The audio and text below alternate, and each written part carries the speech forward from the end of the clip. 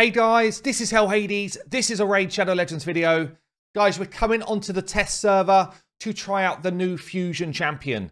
Yeah, we was playing around with him on the stream last night. Actually, really cool. If you want to see some of the other new champions tested on stream, then you can actually go and watch my VOD from last night and you'll see the new legendaries and a few of the new epics as well. But this video is going to be a guide about the new legendary Tatura Rimehide. Um, and honestly, I think he's an amazing fusion. Like, if, if there's ever one, I'm like, yes, go and get this one. If you've got the means to do it, you should do it. I can't really think of any type of account that wouldn't benefit from this guy. So for me, best one since Brogni. Up there with that kind of like Hurndig quality of champion, Brado quality of champion uh, in the game. So for me, it's a must get if you can get him. Let's get into this. So here he is, the beast, Tatura Rimehide. I mean, I just feel like he's such a sweet looking champ. He is massive. He kind of takes up the whole screen uh, in places. But you know what? Uh, I just think he's he's so well designed. I love more than anything. I kind of love the um, the wings. You know, this kind of like armor plating wing that he's got going on. The face. I'm not sure about the kind of crazy horns and stuff, but you know what? It looks cool. It looks cool. High Elf Champion, Spirit Affinity. Uh, let's just talk about what he does then. So, decrease accuracy A1. It's an okay A1. You know, for something like, uh, I guess, a Bommal fight is where we'd mainly use decrease accuracy or, or just generally Doom Tower type of hits where you're going for resistance builds. I think we might see a bit more decrease accuracy, high resistance coming out in Hydra in the future. But it's an okay A1 that could kind of just get a bit of value anywhere in the game. The A2 is big, well worth booking down. Um, I'll tell you what, before I say that, nine books. Nine books, Plarium, yes. This is what Fusion should be like. Quality kit, nine books, accessible. Um, so this is definitely the type of thing we want to see. So yeah, two books into here gives you a three-turn cooldown on block debuffs and increased defense going on for two turns. Makes it really, really viable for clan boss. Super good for pretty much all of the Doom Tower bosses, with the exception of maybe one or two. Um, incredibly good for any of the general dungeons. Yeah, faction wars. It's just a great, uh, great skill. I guess there's, there's champions out there that do it already, but just this two turns block debuffs, I love it. This is a great ability. Three turn cooldown. And then this, I mean, we were playing around with this on stream last night. I love this ability. I love it. So it's an AoE, puts perfect veil on, on your team, which means that all of the focus becomes on the lion, yeah? And puts a shield on him for amount of damage that he does. 20% of the damage he does. So the more people you're hitting, the bigger the shield can become. Um, I mean, basically what I was saying on stream is if this hits, this makes him a great champion because big shield, all of the damage on him, allows everyone else to do their stuff. And I tell you now, it hits and we'll try that in a minute. But yeah, this is a great ability. I love it. I absolutely love it. Four turn cooldown on this one. And then he's got this passive, which I wasn't too sure about. The more I've used him, the more I actually kind of like it. So when attacked, reflects 30% of the damage back to the attacker. He's a defense unit, and you can build him tanky. He's got good base defense and base HP. So you can actually build him to be a pretty good tank unit. Therefore, reflecting 30% of the damage that he receives can actually be a nuke to the attacker in the arena as like a defensive unit. Uh, and it will do a bit of work in waves, not a lot of work. But adding this 30% chance to freeze on the attacker actually be becomes quite clutch. Bearing in mind on the A3, all of the, the focus is on him. So it will take a hit, chance to freeze, take a hit, chance to freeze. Which means when these veils drop off, there's a good chance that, you know, a third of the enemy are going to be frozen. So it's actually a kind of okay passive. It's not crazy reflect damage like you get from like a Brogni, but it's uh, it's more like a War Chief reflect. This dude's going to be annoying when we start seeing him in waves of content that we're trying to beat up. When they start throwing him into Doom Tower waves, we'd be like that. Not Tatura! Literally nuking us down with our own damage. So this this passive is interesting. Um, and then he's got a defense in Doom Tower aura, which is not bad. So what have I done? Initially, we've just gone going to go full damage, damage test so I can show you what his A3 is like. Um, and I do feel like you build him with damage. Like you want the A3 to give you big shields. So I've gone Savage and crit damage gear. Um, let me just show you his stats. Now, for the sake of the start of this video, some people hate it, some people love it. I'm doing it anyway. For the sake of the start, I'm doing a damage test, and I've put him in probably pretty unrealistic gear for most people. Okay? Crazy high defense, 5.8k. Very high crit damage, 255. A fairly slow build, and I've not really concentrated on anything other than that, just damage. But you'll notice because he's got a high base HP, he actually gets to a good level of HP without me even trying to build it. That's that's kind of where he gets to. Um, and when, in terms of masteries, I've put Helm Smasher on him. I've put a sort of standard damage set of masteries on him for the damage test. Okay, we can do a more realistic build in a minute. Don't worry, all of those naysayers. Don't worry, we'll do that. But for the damage test, I always go into Dragon. Uh, I go into 20 if it's any other affinity. But for Spirit, I'll drop back to 19, or we could do 21. Um, and we'll get a look at what he can do. I also tested this guy last night. He's so broken. so busted. Okay, so usual tests then, but apart from Arbiter, we're putting Siphi in for the increased defense. You know what? None of this is required. It's just my testing group. Like this could be Doom Screech. I showed him with the Marquez video uh, the other day. So that definitely works here. Increased defense and turn meter. Probably better than Siphi for it, honestly. Um, just my Siphi's built. Decreased defense and weaken here is could just be any decreased defense champion. Yeah, so you do want decreased defense out if you want to try and get him to do damage, because obviously you'll do more damage. Uh, if you get weaken out there as well, you do more damage. Yeah, it's just the way it works. So we put our increased defense up. That's how his damage scales. Drop their defense and weaken them. Um, we put poison on us, gives us a bad L passive. We put poison on us from this one, more passive damage.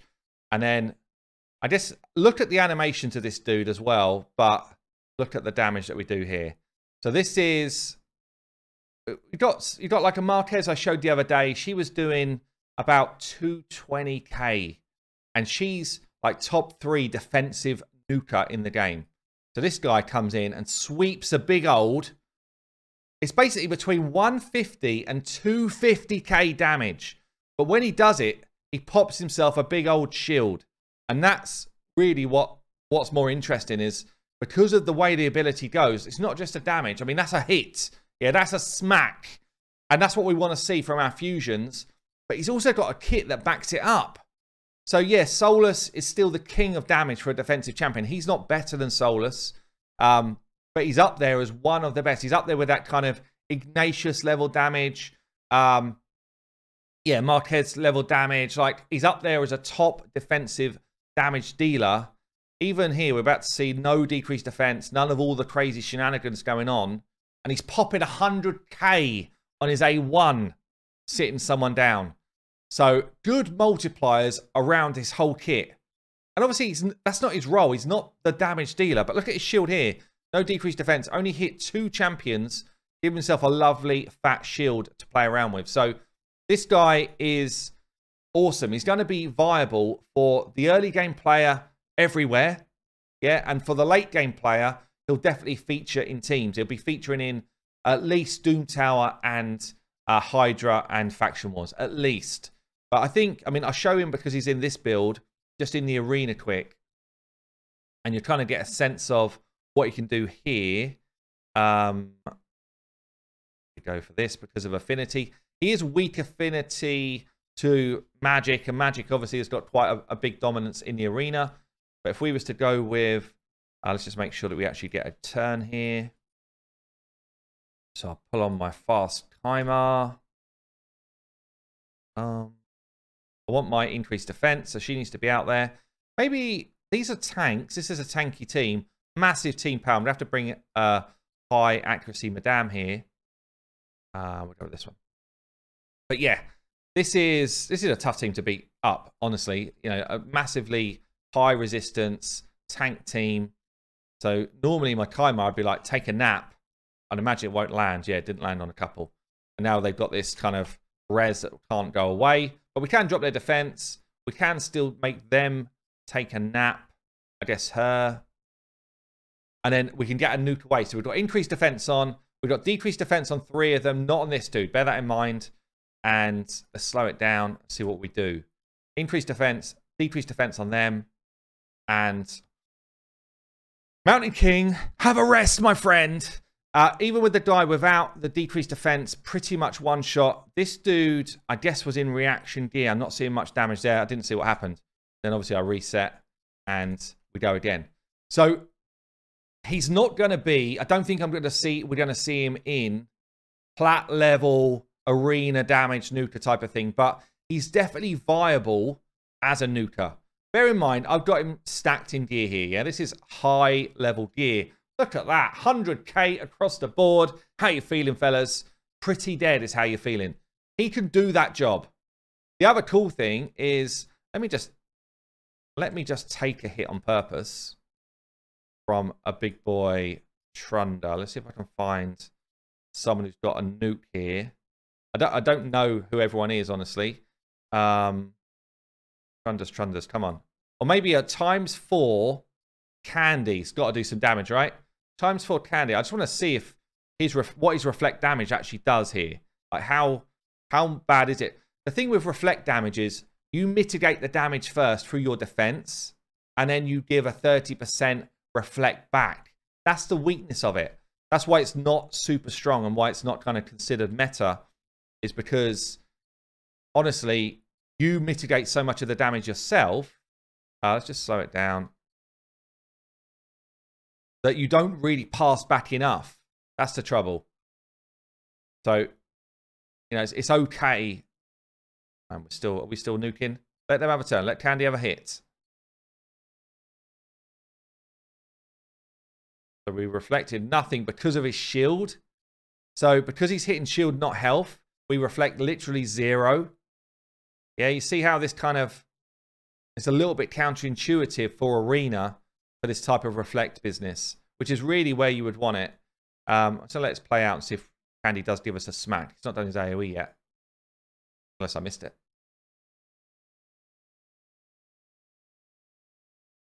Right, we've got no shield. Oh, no, we did still have a shield. It must have put the shield back up. I mean, yeah, he's just popping people. Um, I guess let me just try one more thing. Let me just manual it against that same team. Put him in there on his, on his own. So you can just kind of get a proper feel for what I mean here. So we've got no shield. He barely scratches himself 8k of damage. 400 damage. Candy smacks. You know what I mean? It's like, it's barely tickling back barely barely a tickle, unfortunately. So it's um that's not that's not his strength. When you get to, I, guess I guess our switch switches build out. and We'll start to put them in some some content, and you can kind of see where the passive starts to actually give us some benefit. So just a little bit of a change. I've put him with an accuracy banner on now, so that he's going to land things like his decreased accuracy and his freeze. Uh, they're the only things that require accuracy, though. So I do wonder if if people just will build no accuracy at all in his kit. The freeze though is nice. Like when you get the freeze, it, certainly if you're building for something like Doom Tower, going through waves, the freeze is actually really nice. If you're building him to kind of tank up Spider, the freeze is nice. If you're not, and he's just kind of out there to do damage, maybe clan boss type of stuff, take the accuracy out of his build completely. And you actually just build him full damage. Full damage because his damage is also his survivability. So um, I think accuracy is a bit of a luxury on him, depending on how you're going to use him. I've kept his masteries the same for now. Oh, didn't mean to do that. I kept his masteries the same because unless I'm using him in Clan Boss, Hydra, or Doom Tower bosses, I think I take Helm Smasher. Maybe if he's more of a... I don't know. The more you use him in bosses, the more likely you're going to put War Master on him. Because you get the extra tick damage from War Master. But if you're using him in a lot of wave-based content, I think Helm Smash is the way to go. You definitely could um, just change it up.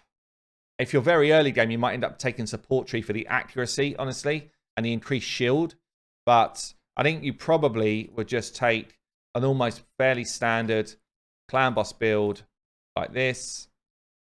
I mean, maybe you'd either go down here like this, retribution to get that A1 away a bit more, more defense, more survivability, or you would go um, into increased shields that he casts by himself, um, perhaps ending up somewhere like lasting gifts to give um, a better chance of more increased defense, more um, block debuffs, you know, extending the turns. Um, if you were not kind of speed tuning him, let, us say uh, we were kind of going for, yeah, I'd say more like a clan boss style build. I would do this, this,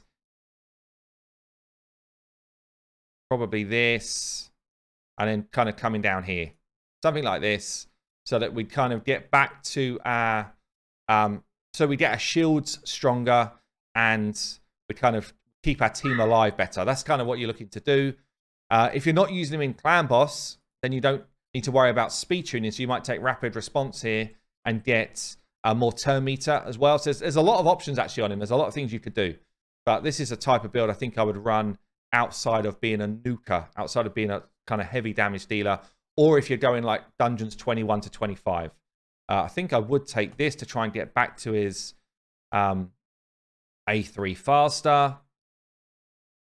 And because we know we're going to do damage, maybe I would take Blood Shield as well, get a shield. So this is the type of build I would go if I was using him outside of just doing straight up damage. But I still would take this type of stats. So we're, we're talking high defense, good speed, high crit rate, ideally 100, good crit damage, and accuracy if you want it, up to you. So let's throw him into a spider fight um, and kind of just see the benefit he's going to bring us on spider. So I'm thinking this kind of team, I'm, I'm looking at 20 here. We've got burns, we've got freezes, we've got um, decrease attack and defense, we've got turn meter control. You see here in terms of affinity, these two become the affinity tanks, but he will tank some of that damage because he's going to veil those champions. So the way this should work is we get our, our buffs out, we get our HP burn out there. One thing I would say is like I've got him built to do damage here. So you see he hurts the spiderlings quite a lot. If you were building him as like a full spider tank, he gets the benefit of this massive shield. He's tanking it all up, but also they've probably taken a bit too much damage. So the balance is the massive shield versus hitting them too hard because actually you want the burns to do the damage rather than him to do the damage. And the harder you hit them, the uh, the faster they fall type of thing. So this type of build gets better the higher you get up in Spider, honestly. But this massive shield just means he can tank it up all day until they start to flip their focus. And then there's kind of like this spread of damage between a couple of the team. And Eventually, he'll cycle back round to his A3, at which point he'll fail everyone again, and you just kind of rinse and repeat the set. So, I mean, yeah, this is a powerful team, but I mean, it's it's what one uncommon, three epics, and then this boy coming in, honestly, doing a ton of the work. He's doing a ton of the work. It's taken what one minute twenty before anyone's taken any damage really because he shielded all of that work early on. And Achak is doing uh, his boss moves here. Don't forget as well, when they're attacking him, there is that chance that they freeze, which works well with Achak's, turn me to boost. Yeah. Chance of them freezing as well. There's one. See that? Freeze has gone on. Also means that when they burn next time, they just burn. They don't move. They just burn and they burn everyone else. So this type of comp becomes insanely strong. And he is really good in this role. Really good. Um, and if I was to throw this, I, I guess I'll throw it onto a higher level. So, I mean, that's we never, we're never in any threat whatsoever. And he's done a ton of the work there. If we were to throw this on a higher level, I guess 25, he becomes a negative affinity. Um, my Armiger might end up being targeted actually, but just check. Yeah, so one watch out. You, you want to make sure that whoever you want to be your tank has got the lowest HP. So one of the things here, my Armiger was, was had massive defense, low HP. So all I've done is I've put HP stuff onto Armiger because this guy's got a, a high base. Therefore, it's quite hard to make sure that he becomes the tank. But I think I've done it here. So uh, in terms of affinity, in fact, let me just check Stag as well. Yeah, he's got tons. Okay, so in terms of affinity, negative affinity will target your champ. Um, but then it will look for the lowest HP champion as the, the target, um, unless there's some buffs that come into play. And there might be with this because we've got increased defense and stuff like that going on. But he should be the main target even when his veil's not out there. But when his veil is out there, obviously he's 100% going to be the main target. So the main thing here is basically what we've just seen. I guess Armiger is actually a bad choice. He's not going to drop much turn meter. But you'll see the Spiderlings will just attack this dude. It's even stronger at this point because these are tougher now. So they're not going to take the hits like they did in that last level. See this massive shield. He's literally like that. Whatever. I don't care. You're not going to eat up my shield. There's no way that's the way I die. The only way I'm dying potentially is this big, big boy spider doing work. Spiderlings are not a threat. So all we're trying to do is keep the, the main spider's attack down and try and control his turn meter as best we can whilst letting everyone else burn themselves to death. And so far, so good. So he's taken one turn. If I had better turn meter control going on here, then this would already be a wrap. Like, it would already be game over. Unfortunately, my armor gets just weak hitting it every single time. Big old shield. Look at that shield. Hmm. Love it. Love this guy's kit. He's just so good for general content. I love it. And I mean, this now, we're just waiting on the burns to come back. Once the burns are back, it's game over. The spider's 100% dead. Decrease accuracy is kind of like a nothing thing here. I guess it might help you in Ice Golem, um, perhaps in Dragon, in terms of just like making sure those debuffs don't come back at you. Ice Golem especially, I'd say, where you get some real benefit. Armiger was low there, which is why he started to target Armiger. Maybe it's this block buffs, block debuffs actually. Not sure. But anyway, the spider is pretty damn dead. And that is Spider 25 in a reasonable time with a pretty accessible team, I think. They're, they're all relatively well geared, honestly. But he is doing a ton of the work to make that happen. He really is. That is a lot of the work between him and Achak there is being done. So for Spider, he's going to be brilliant, literally like top tier. He's going to be awesome in Ice Golem. I guess we show Ice Golem as well. This one, I'm going to give you a little sneak glimpse of this new dude. Just because of how busted he is. he's so ridiculous. So we get a drop defense out there. Yes. We get our seal stunning stuff up. Loads of damage, big shield. Protect my team. And then this dude, uh, I mean, they're not even going to get a turn, but I will do a separate video on him because he's so ridiculously crazy. Like his A1 is just popping off all the time. Um, but you see here, I mean, maybe I got too much control to even show this team off, really. But we're basically just locking people down. And then when we kind of need to, we then switch to getting the AoE hit out and and kind of controlling where the damage is going to go, which is just so nice. So watch as they get a turn. Pop, you're not having a turn, my friend. So crazy. And I guess this is the part where he adds a bit more benefit, or a bit more value. So he's going to put out the block debuffs. Increase defense. So that's really important against this boss, you know, being able to control some of that damage coming at you. Not being frozen up all the time. And then everyone else is going to do the job. So, and obviously, he also just hits hard, yeah? And if, if you're going to take a big smack, he's going to put a big shield out as well. It's just generally a pretty freaking awesome kit. So for any of the kind of dungeons, I'd say Fire Knight is a little bit weaker because he doesn't have any multi-hits. He's still not weak. He's still not weak for Fire Knight. Like, he's still bringing a load of team support for Fire Knight. He just doesn't really do anything special for the boss that's going to help you out that much. See that? I mean, he's just like, whatever. I, I couldn't care less about what you're going to do to me. Flex a little bit of damage, kind of whatever. Um, and then he's throwing decreased accuracy on the side mobs as well. He's just generally strong. So all of the dungeons, I'd say, except Knight, decent.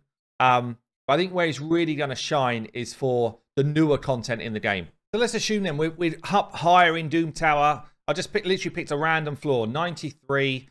When you get past floor 50 on hard Doom Tower, the waves get incredibly difficult to deal with. If you don't have a seer comp, blowing everything up, then it becomes very difficult to deal with these waves. And you pretty much have to crowd control them and you know, find other ways to get your damage away But with this guy on the team, I feel like he just offers you a lot.